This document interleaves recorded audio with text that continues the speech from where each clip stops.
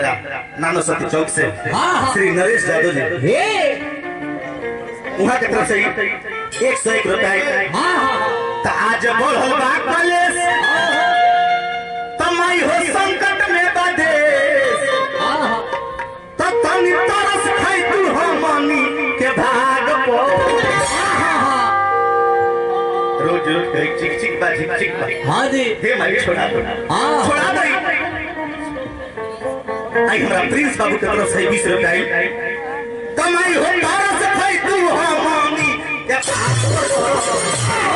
तो चढ़ के आ जा।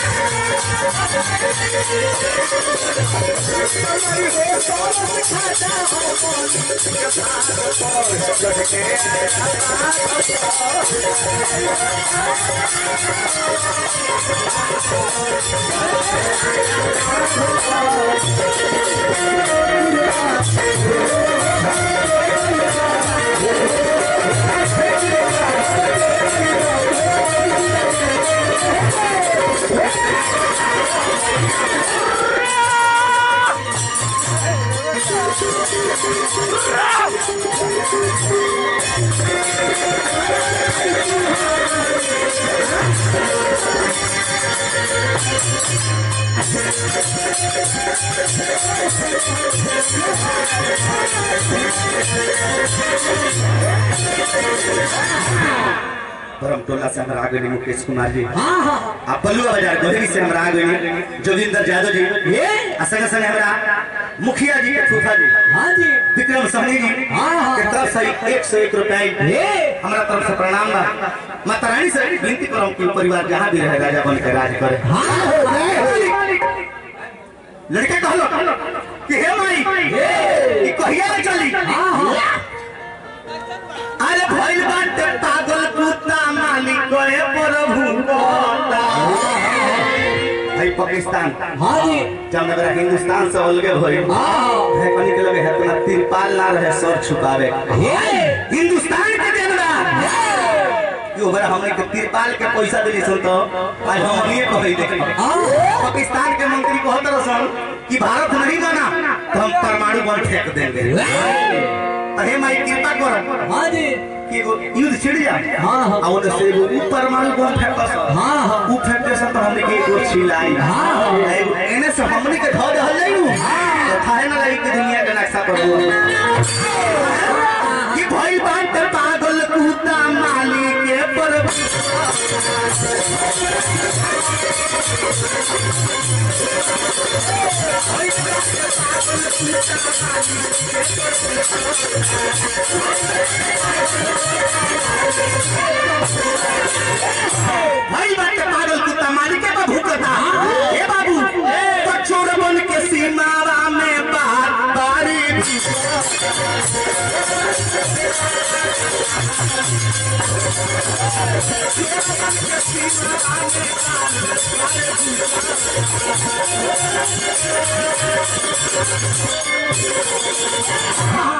लिखल कि विदेशी गरीबों को आने न देंगे और सेव कश्मीरी चबाने न देंगे।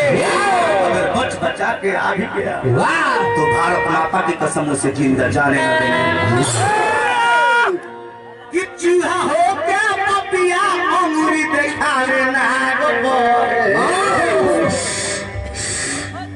आई हमारा रिपेश बाबू की तरफ़ से। हाँ हाँ। पैसा को रुपया तो चूहा हो क्या पपिया अमृत दिखावे। तो चढ़ के आ जा